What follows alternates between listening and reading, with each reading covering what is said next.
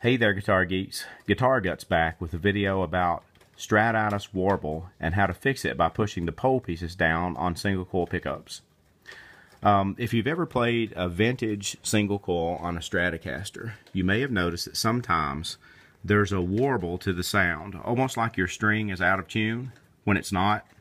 And that's caused by the vintage stagger on some of the old type single coil pickups. So I'm talking about any of the classic single coils from Fender, like Custom Shop 69s, uh, Fat 50s, or these Texas Specials. If you notice, on these pickups, and I'm talking about this single coil pickup here, um, the B string pole piece is down so low that it's below the plastic bobbin on the pickup itself. Whereas the G string pole piece is relatively high. It's way up above the plastic bobbin. Um, the D string is high as well, the A string a little bit lower, uh, and the E string pole piece is a little bit lower still. These first two, though, the high E and the B, are really low compared to the others. Now, there was a reason for that in the past. Uh, originally, Fender guitars had a 7.5 inch radius, which is a fairly drastic radius. That's, that's a fairly large hump on the string's radius and the fretboard's radius. Um, Fender has since changed to a flatter radius of 9.5, 9.5 inch radius, which is a little bit of a flatter string curve. But they never changed the pole pieces on their pickups. Also, on older sets of strings, the G string was a wound string. In other words, it had a wind like the E, the A, and the D string, where it, you know, you know these strings because they feel a little bit rough compared to the unwound strings. But the G string on old sets of strings was a wound string. And because of that, it was a little bit harder to move. And so you needed that pole piece up closer to it because it you weren't going to move it as much as you needed to to get the volume out of it. So that pole piece had to be really high. The first unwound string was fairly loud compared to that one because it was easier to move, and so that pole piece needed to be low. But because we now don't play with that wound G string, sometimes that pole piece can be too high, and sometimes you can get a little bit of fall off where the B and the E string sound a little bit uh, too weak compared to the others. If you adjust your pickup higher to get that to go away uh, and to get better string balance, that's where you run into strat warble. The magnetic pole pieces are cl too close to your strings, causing them to have uh, an out of tune sort of sort of warbling effect to them and it's annoying. You can't get the best of both worlds with a vintage stagger pickup. Now, one solution to that is to stagger your pickups in a more modern fashion, like this uh, pickup out of one of my Highway 1 strats. You'll notice that the stagger on this one is absolutely flat. There's no curve to it at all. And while that is one solution, maybe that's not the best stagger either because your strings are not exactly flat. I found another way to keep the vintage sound of these old traditional single coils while getting rid of Strat Warble. Uh, and I've done it to this Strat. These are, uh, I think, custom shop uh, Fat 50s that I have pushed the pole pieces down on. You'll notice that the G string pole piece is way down lower than the ones on the other guitar. Um, the D string is still up fairly high. The A and the E are fairly low. Those three I left pretty much the same. I think I pushed down on the D string pole piece a little bit. But that G is definitely lower. Uh, the B string pole piece is a little bit higher. And I think I left the E string uh, about where it was before. I've done the same thing to the neck pickup. I've changed the radius on those pole pieces. I get the same tone out of it. I don't feel like it sounds any different at all. The strings balance better, and I don't have to worry about strat warble, even though I can get my string, my um, pole pieces close enough to the strings to really have a good strong tone out of the pickup. Now, what I'm doing and what I'm about to show you is probably going to cause some people on the internet here to lose their minds.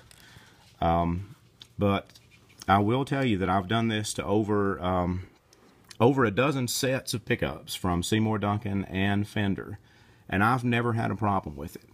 Now, uh, a, a little warning here.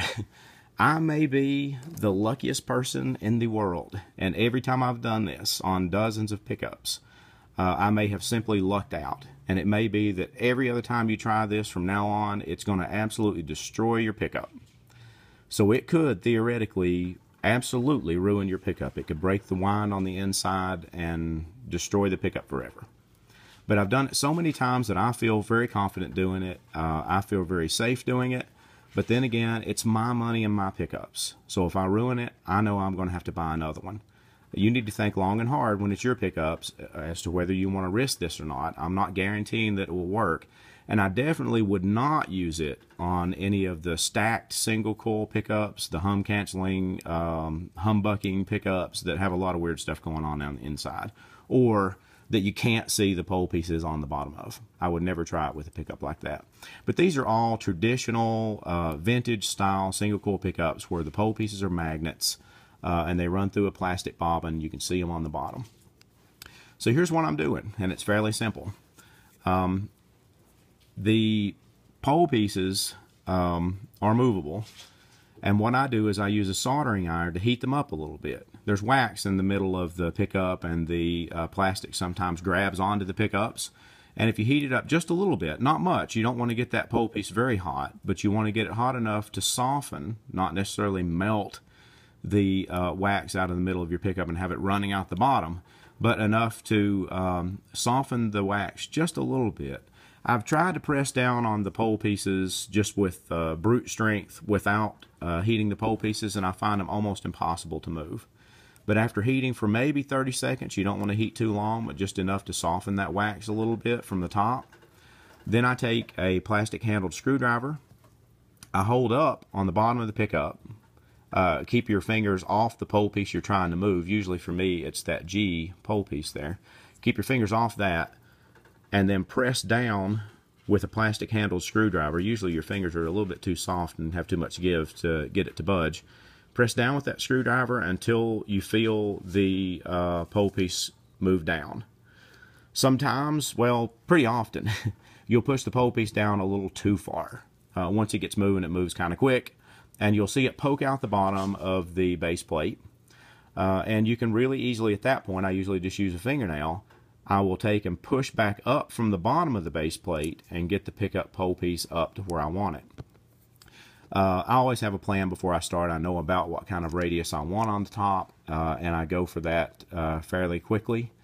Uh, you can always adjust it again later. I've had to take them back out later because I've got one that's a little too loud or one that's a little too quiet, and I simply take it out. And sometimes that pole piece will just move on its own after you do it the first time but I adjust them to where I want them. I've never noticed any of them falling down in their slots um, by themselves.